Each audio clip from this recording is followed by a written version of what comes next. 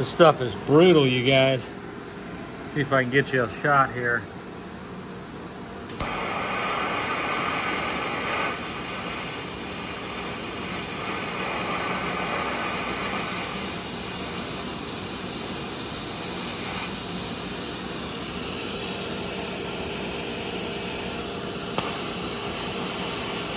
Trying to show you the difference between the protected zone and the non-protected zone here.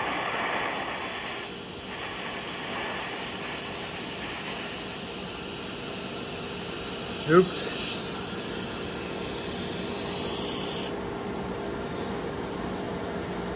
So, even though I don't like this composition, it's got its issues. It's a pretty incredible stuff. So here's the video. It was actually a high temperature refractory glue. And you guys really liked that video. Um, and I get questions every day. And I said I would do a follow-up on this.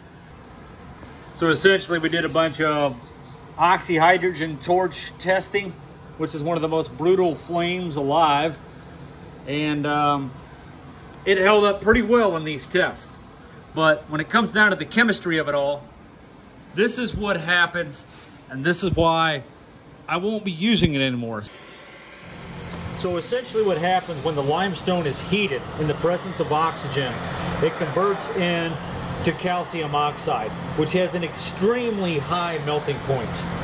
Now that right there does make a very powerful refractory fire shield, but when that calcium oxide comes into contact with moisture, it reacts endothermically, creating calcium hydroxide, and it expands in volume 75%, which destroys any artifact you may have constructed of this material. Or if it's a coating, it will flake off the walls. So now, the calcium hydroxide, when it comes in contact with water and sand and other materials and CO2 from the air, it will convert back into a concrete or the limestone once again. So it's, it's a good one-time use high powered fire shield, but that's not what we're looking at in this, this video in the background here. This is a refractory paint that I made from some potassium silicate water glass, and I'm gonna show you guys how to make in this video. But I just wanted to get back, touch base on the limestone video because it's just not usable. It, it goes through this chemical process that reacts with moisture in the air. So that's kind of what kills it. If you can keep it dry, it's amazing stuff. Right, I don't want to shut it We're off. not doing the limestone around here anymore. Before this torch blows up, as you can see, it's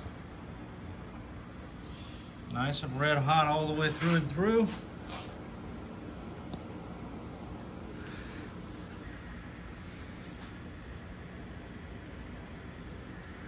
So is this protecting the metal from oxidation?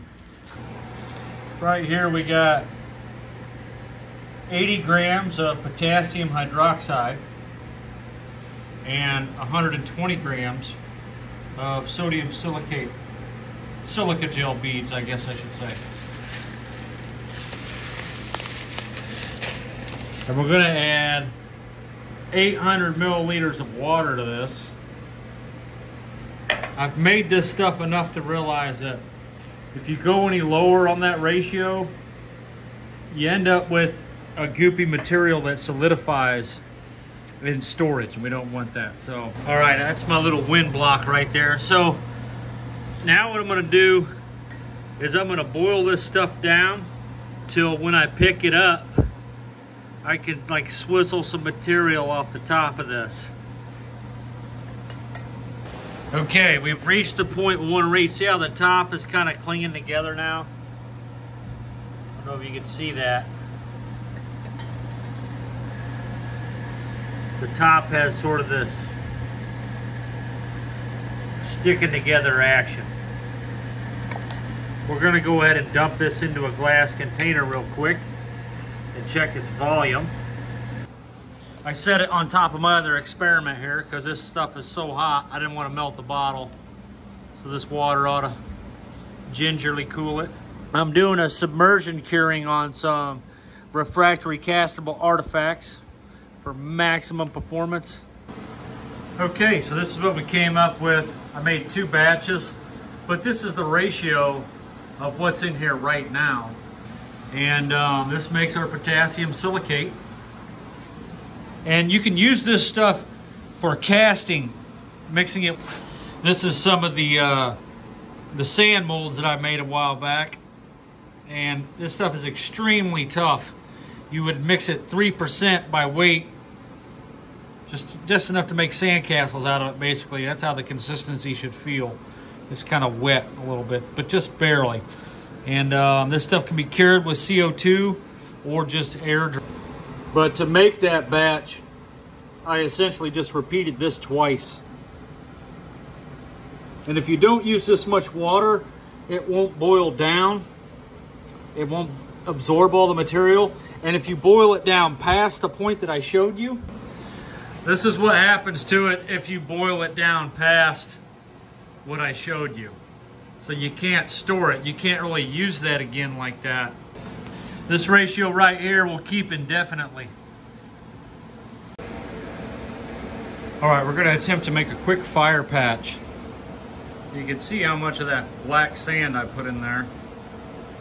That's a black abrasive blasting media. And we're gonna top that off with some water glass. All right, so here it is. It's got some massive holes where there shouldn't be. And it's pretty much to the point where it's almost ready for a new cup, but we ain't gonna do all that.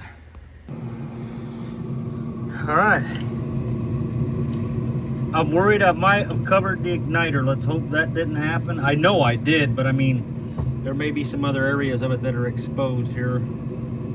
So it may have a hard start situation. Been going for about 10 minutes it looks really good. I don't think it's gonna have any trouble. So we'll let this go ahead and do a full cycle. All right. So that was two and a half hour campaign. And the repair held up. Raspy, but see what it feels like. It's hot in here, dude, it's solid as a rock. That is hard as rock.